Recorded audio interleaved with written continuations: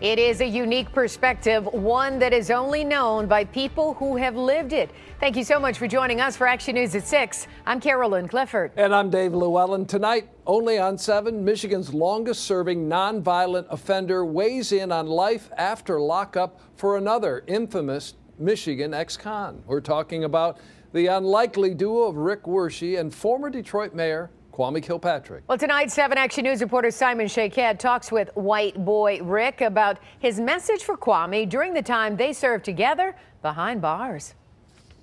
Rick Wershe was a teenager when he went away to prison for more than 32 years for a nonviolent crime. Now an advocate for prison reform, he says Kilpatrick deserves to be set free. Seeing him hug his kids at the airport, he's going to get to see his mom and dad. I didn't get all those chances but I'm happy that he is. Back in the Detroit area, where he's advocating for prison reform and helping former offenders through the organization Team Wellness, Rick Wershe knows firsthand what it's like to spend more than three decades behind bars, something he says he's glad will not happen to former Mayor Kwame Kilpatrick. He deserves a chance at redemption. Redemption now possible after seven years, compared to the 28 years Kilpatrick was originally sentenced to for public corruption and other felonies.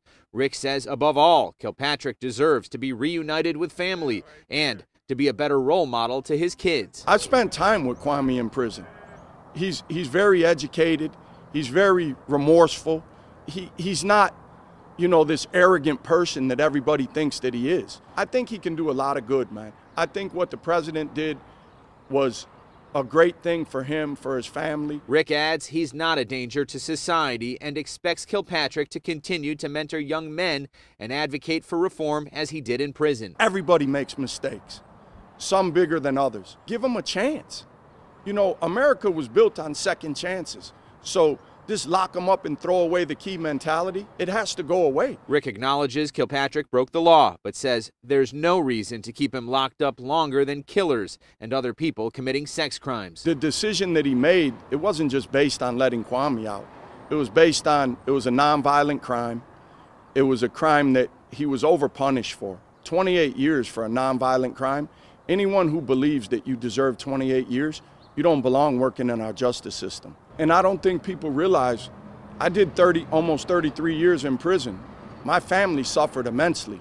Rick also says Kilpatrick's powerful voice is enough to also change people's minds about important issues such as mass incarceration. Simon Shaykhet, 7 Action News.